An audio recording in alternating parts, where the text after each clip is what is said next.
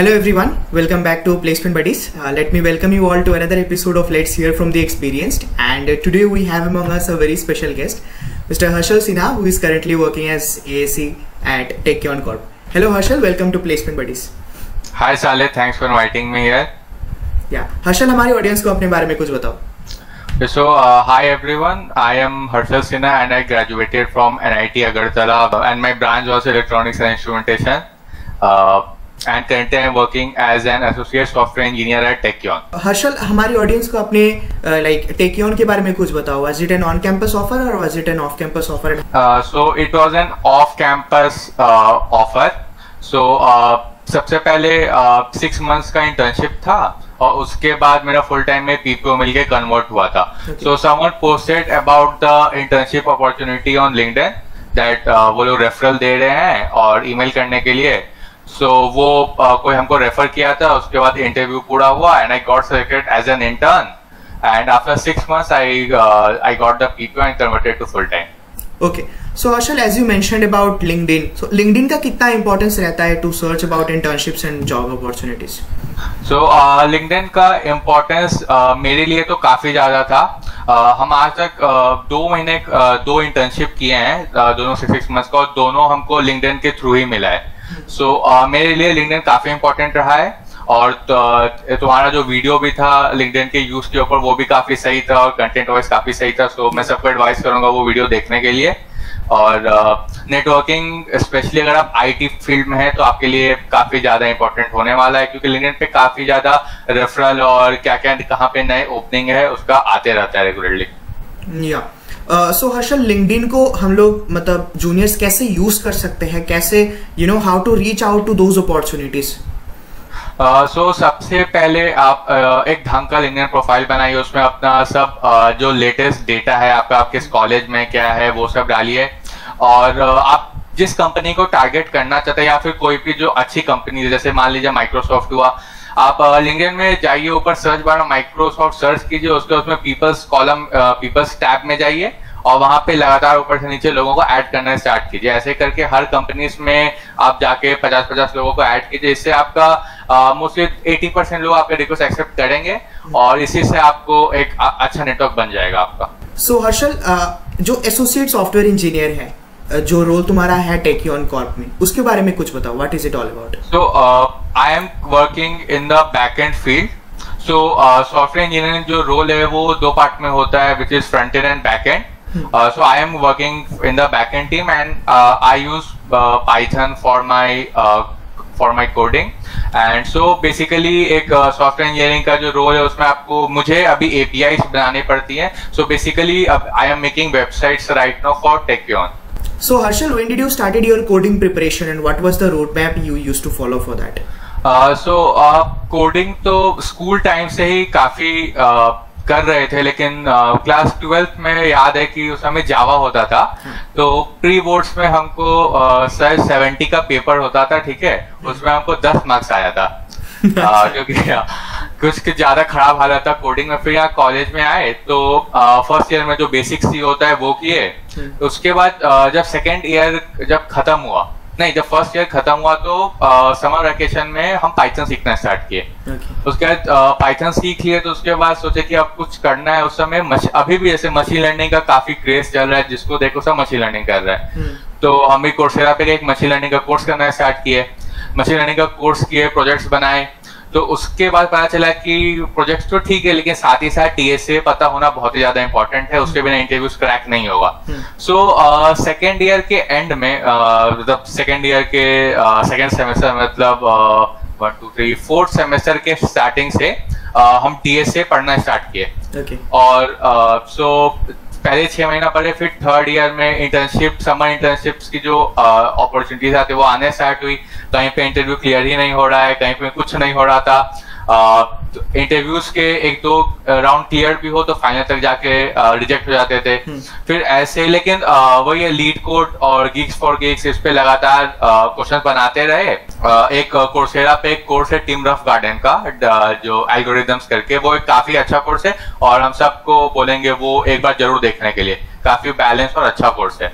और उसके बाद फिर लीड कोड और गिग्स फॉर गिग्स करते करते आगे बढ़े तो फिर जब फाइनल ईयर में आए तो एक कंपनी का फिर इंडियन पे आया अपॉर्चुनिटी तो वहाँ पे इंटर्नशिप छह महीने का करना स्टार्ट किया लेकिन साथ ही साथ क्योंकि कॉलेज में प्लेसमेंट्स चल रहे थे तो साथ में डीएसए भी करते रह रहे थे ताकि प्रैक्टिस नहीं छूटे so around 1.5 years two years DSA करने के बाद जाके जॉब uh, ढंग से मिला ओके okay. जो प्लेटफॉर्म्स uh, होते हैं कोडिंग प्लेटफॉर्म्स होते हैं जैसे तुमने मेंशन किया GeeksforGeeks LeetCode फिर कोड शेफ हम्म। वगैरह वगैरह सो so, कौन से प्लेटफॉर्म से स्टूडेंट्स को प्रैक्टिस स्टार्ट करना चाहिए और like what should be the approach basically किस प्लेटफॉर्म के बाद कौन सा? सो so, uh, सबसे पहले the most important thing is to get your basics right so सबसे पहले बेसिक्स पढ़ना सबसे ज़रूरी है। आप एक बार बेसिक्स पढ़ लिए तो आप किसी टॉपिक को पढ़िए जैसे कि डायनेमिक प्रोग्रामिंग पढ़े उसके बाद उसके ऊपर क्वेश्चन बनाओ ऐसे पाँच क्वेश्चन उस पर बनाए फिर अगले दिन शॉर्टिंग पढ़े या एरेस पढ़े फिर उस पर पाँच क्वेश्चन बनाए। तो ऐसे करके पहले टॉपिक वाइज करना स्टार्ट करना चाहिए और उसके बाद फिर पूरा फुल फ्लेज जाना चाहिए। तो जैसे जो कोर्ट फोर्सेस और कोर्ट शेफ्स वाला जो प्लेटफॉर्म है वो बेसिकली सीपी के लिए है। So CP is a good way to do DSA काफ़ी ज़्यादा प्रैक्टिस होता है लेकिन इंटरव्यूज़ के लिए uh, जो है वो लीड कोड और uh, जीएफजी ज़्यादा सही रहेगा। So if you are starting आप अगर थर्ड ईयर में हैं या फिर सेकेंड ईयर में हैं तो आप सीपी से स्टार्ट करिए और उसके जब आपका इंटरव्यूज़ आने वाला हो अगर दो महीने दूर है तीन महीने दूर है so I will suggest you to switch to LeetCode और GeeksforGeeks alright so Harshal जैसे कि तूने बताया कि you were doing an internship छह छह महीने का इंटर्नशिप यू वेर डूइंग हाँ। सो इंटर्नशिप पीरियड में वो लाइक like, क्या चीज़ें होती है जो एक्स्ट्रा करके मतलब सीखने को मिलता है except for the like regular academics या जो भी तू मतलब बाहर से सीखता है इंटर्नशिप में क्या चीज़ एक्स्ट्रा सीखने को मिलता है? Uh, सबसे पहले कि uh, जो आप इंटरव्यू uh, प्रिपरेशन के लिए जो भी पढ़ते हैं जो भी करते हैं वो उसका कुछ रिलेशन एक्चुअल इंटर्नशिप में नहीं होता है वो पूरा एक अलग वर्ल्ड होता है। हम्म। जो आप बाहर से रह के अपने प्रोजेक्ट्स के थ्रू सीख तो सकते हैं लेकिन वो एक कंपनी के अंदर रह के कैसे कोड लिखना है, कैसे अच्छा कोड लिखना है, कैसे एफिशिएंट कोड लिखना है किसी प्रोजेक्ट में, वो आपको इंटर्नशिप के थ्रू ही पता चलेगा और इंटर्नशिप में सीखने को काफ़ी मिलता है, क्योंकि हो सकता है कि आप कोई ए टेक्नोलॉजी पे काम कर रहे हो और वो कंपनी में बोला जाए कि आपको बी पे काम करना है तो एक प्रेशर की वजह से आपको भी सीखने को मिलेगा सो लर्निंग काफ़ी बढ़ जाती है उस वजह से राइट right. क्या इंपॉर्टेंस रहता है एक वर्क एक्सपीरियंस गैदर करने का जो भी है like it can it can be project और it can be internship trading anything before placements so एक तो कि आपको सीखने को काफ़ी मिलता है और मतलब uh, सीखना तो ठीक है ज़रूरी तो है लेकिन सबसे इंपॉर्टेंट है कि सीवी पे कुछ लिखने को मिल जाता है। Uh, ऐसे ब्लैंक सीवी बिना प्रोजेक्ट के या बिना इंटर्नशिप के बहुत uh, मुश्किल होगा कहीं पे भी शॉर्टलिस्ट होना। सो so, और इंटरव्यूज़ में भी आ, अभी क्या है कि डीएसए तो पूछते ही पूछते हैं मतलब seventy percent of the time DSA और बेसिक जो सी एस फंडामेंटल्स होते हैं लेकिन thirty percent of the time आपके प्रोजेक्ट पे या फिर आपके इंटर्नशिप पे डिस्कशन होता है। सो उसके हिसाब से भी काफ़ी ज़रूरी है। एक प्रोजेक्ट्स के ऊपर एक वीडियो इसी चैनल पे मैंने शूट किया था। आप वो देख सकते हैं वो ऊपर आई बटन पे आ जाएगा। इधर या इधर कहीं होगा। आप लोग इधर देख लीजिएगा। हाँ, ठीक है। तो हर्षल अभी टेकियन की सिलेक्शन प्रोसेस के बारे में बात करते हैं। सिलेक्शन प्रोसेस क्या था बेसिकली ओके सो सबसे पहले uh, हम अप्लाई किए कंपनी में फिर एचआर का कॉल आता है। सो हम्म। एच आर आपको रोल क्या है वो समझाती है। और आप बेसिकली आपका इंट्रोडक्शन लिया जाता है कि आपको क्या आता है आप किस ईयर में है। आप रोल के लिए मतलब आप बेसिक uh, क्वालिफिकेशन आप uh, आपके पास है कि नहीं। Okay. जैसे आप फोर्थ ईयर के स्टूडेंट हैं कि नहीं ब्रांच का इसका उसका ये सब का। इसके बाद एक ऑनलाइन टेस्ट हुआ था। hmm. उस ऑनलाइन टेस्ट में तीन कोडिंग के क्वेश्चन थे। जो मीडियम से मीडियम हार्ड लेवल के थे। ठीक है? उसमें तीन में से हम तीन किए थे। उसके बाद ऑनलाइन टेस्ट होने के बाद इंटरव्यू शेड्यूल हुआ था। सो so, पहला इंटरव्यू एक टेक्निकल इंटरव्यू था। उसमें भी डीएसए का क्वेश्चन पूछा गया था और, और सात प्रोजेक्ट्स और मैंने उस समय एक इंटर्नशिप कर रहे थे। सो so, उस पर भी काफ़ी ज़्यादा डिस्कशन हुआ था कि प्रोजेक्ट क्या कर रहे हो इंटर्नशिप में कैसे क्या है और जो प्रोजेक्ट है उस पर सो फिफ्टी परसेंट डीएसए था और fifty percent of the time projects और इंटर्नशिप पे डिस्कशन था। uh, फिर ये इंटरव्यू क्लियर हुआ तो एक दूसरा टेक्निकल इंटरव्यू हुआ uh, जिसमें सेम फिर डीएसए क्वेश्चन uh, था। और वही सेम प्रोजेक्ट और उसके ऊपर डिस्कशन था।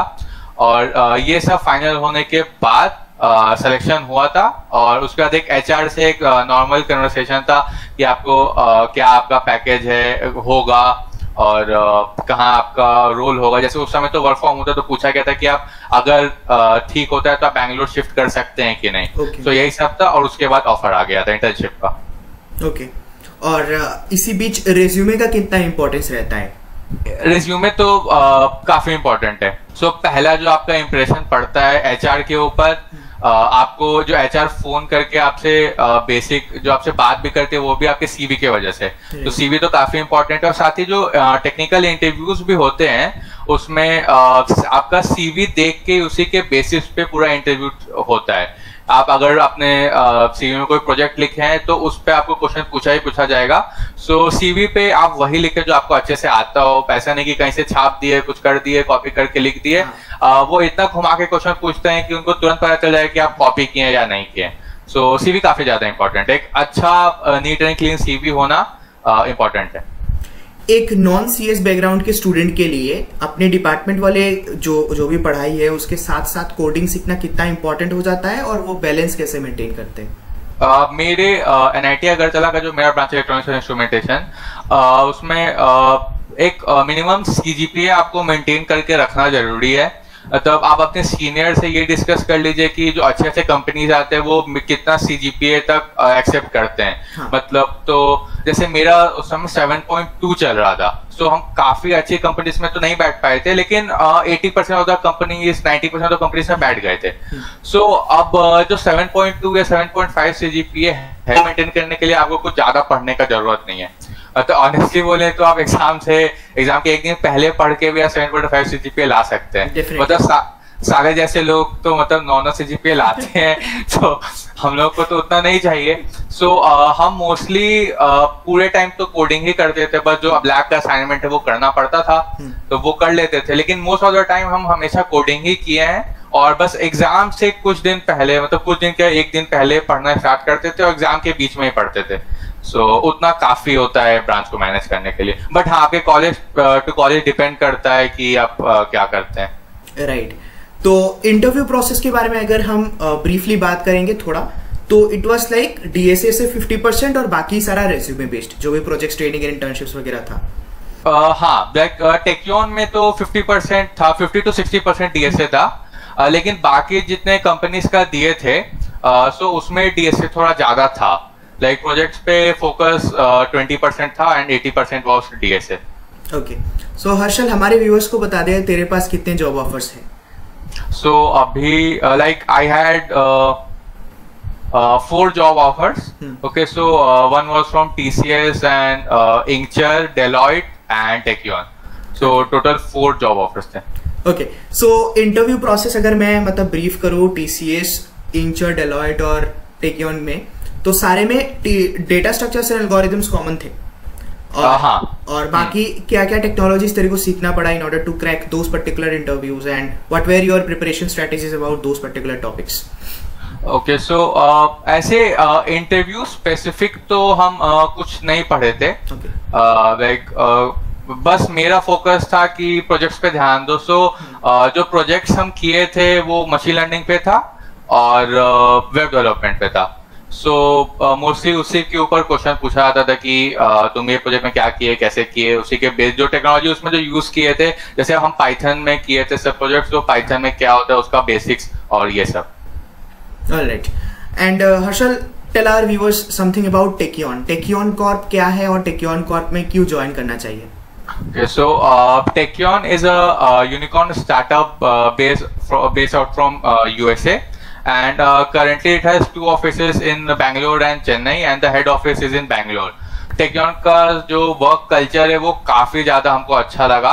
मतलब काफ़ी चिल इन्वायरमेंट है आपके जो सीनियर हैं uh, बहुत अप्रोचेबल है और जो टीममेट्स है वो भी काफ़ी अच्छे हैं। सो so, आज तक मतलब हम बॉस को जब मैसेज किए हैं कोई भी कितना भी छोटा से छोटा क्वेश्चन हो बड़ा से बड़ा क्वेश्चन हो हमको हर क्वेश्चन का आंसर मिला है। एज अ कंपनी अगर आपको वर्क लाइफ बैलेंस सही चाहिए तो टेक्योन काफ़ी सही कंपनी है ज्वाइन करने के लिए। और कंपनसेशन भी काफ़ी ठीक है मतलब काम चल जाएगा। तो सो एंड जो अभी टेक्योन क्योंकि एक अभी जस्ट यूनिकॉर्न स्टार्टअप बना है सो so, अभी जो ग्रोथ है कंपनी का वो बहुत ज़्यादा स्पीड से हो रहा है। सो so, uh, जब ऐसा कोई uh, बहुत हाई ग्रोथ वाले कंपनी में जाते हैं तो सीखने को बहुत कुछ मिलता है। लाइक like, uh, हर दिन कुछ ना कुछ ऐसा नया होता है जो कुछ ना कुछ पक्का सिखा के जाता है। Right so Harshal before wrapping it up do you want to give any particular tips to our juniors who will be preparing for Tekion Corp in the near future I will advise you to brush up your DSA skills first of all all. Uh, uh, वो सबसे ज़्यादा important skill है कोई भी product based company crack करने के लिए uh, और एक अच्छा सीवी पे एक अच्छा प्रोजेक्ट होना काफ़ी ज़रूरी है uh, आप प्रोजेक्ट्स पे काफ़ी क्वेश्चन एक्सपेक्ट कर सकते हैं और जो बेसिक कंप्यूटर साइंस के फंडामेंटल्स के ऊपर क्वेश्चन हो रहे जैसे उप्स कॉन्सेप्ट हो गया और बेसिक डीबीएमएस के कॉन्सेप्ट हो गए uh, वो भी एक अच्छे से पढ़ लीजिए इंटरव्यू में उप्स के ऊपर काफ़ी क्वेश्चन पूछा गया था हमसे। सो डीएसए और कंप्यूटर फंडामेंटल्स सबसे पहले कंप्लीट करने का कोशिश कीजिए। लाइक लीड कोड पे जाके मीडियम क्वेश्चन और uh, जो अच्छे हार्ड क्वेश्चन है वो uh, कीजिए। और uh, इतना काफ़ी होगा आपका होने के लिए टेक्यून में। Thanks a lot again, Harshal. Thanks a lot for joining Placement Buddies. आशा करता हूँ कि तुम्हारी एडवाइस से हमारे जूनियर्स को बहुत फ़ायदा हुआ होगा। And we wish you all the best for your future endeavours thank you again thank you साले पहली बार से ये बेटी जैसे फीलिंग आया आके ओके चलो. बाय चल बाय